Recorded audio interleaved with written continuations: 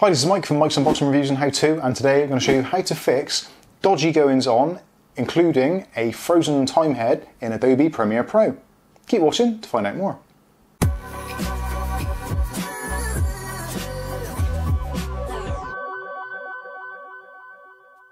So if you're a regular user of Adobe Premiere Pro uh, over the last few years, you've probably noticed every now and then you get an issue where the time head, when you're trying to uh, skip up and down through a selection of your selected video or content, sometimes you find the playhead actually freezes or you get some weird glitches that happen and the system just freezes up for a few seconds. Now sometimes you can be very lucky and it will resume, but quite often you get the dreaded kind of uh, this program has stopped responding message and you have to close down and open up one of your old auto saves and all that kind of thing.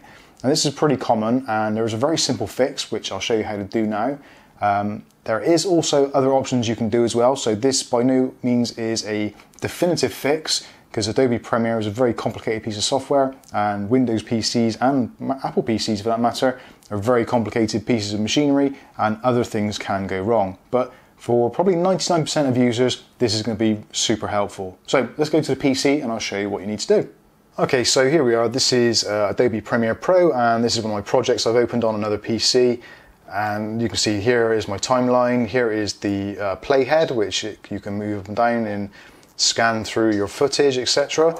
Now, quite often you'll get to a point where you'll be playing and it'll just be playing through normally. Then all of a sudden, the playhead, this little bit here, it will either disappear altogether or it will freeze or you'll find that the, uh, the playhead is still moving but this section, your preview window, is completely stopped.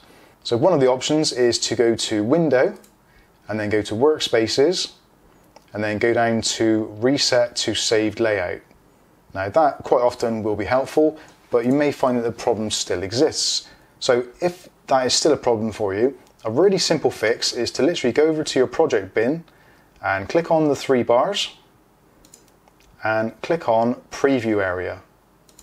Now for some reason having this preview area seems to keep either the rendering engine or whatever it is, it tends to keep it alive to prevent these freezes. So you can keep on scanning up and down through with your playhead, moving things around, and it will work as it is intended to. So again, if you're having problems, all you need to do in the project bin, click on those three and make sure you've got preview area ticked. Now, as default, I believe that is normally the case in Adobe Premiere, but for any reason, if you've changed your setup or you've got your own default layout, just make sure you've got that enabled and you should find that everything is a-okay.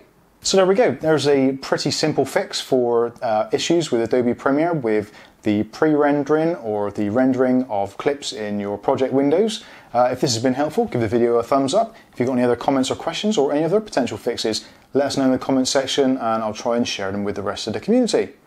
So I've been Mike, this is Mike's Unboxing Reviews and How To, and hopefully we'll catch you in the very next video. Thanks for watching.